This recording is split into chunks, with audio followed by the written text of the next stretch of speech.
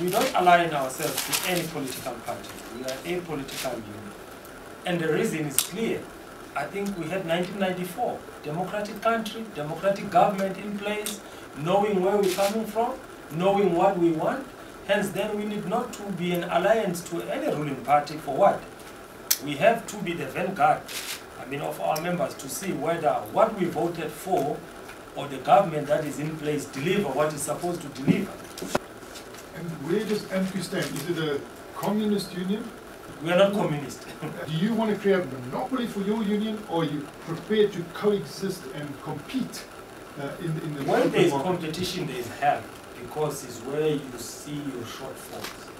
But now, if you practice the thing called monopoly, you will end up thinking you are gold.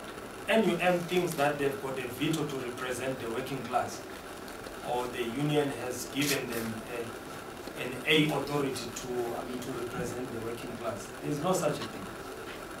So we have to coexist. And for AMCU, it works better because it's where then we are able to see our shortfalls. If the masses of this country, they still under poverty line, that's an issue.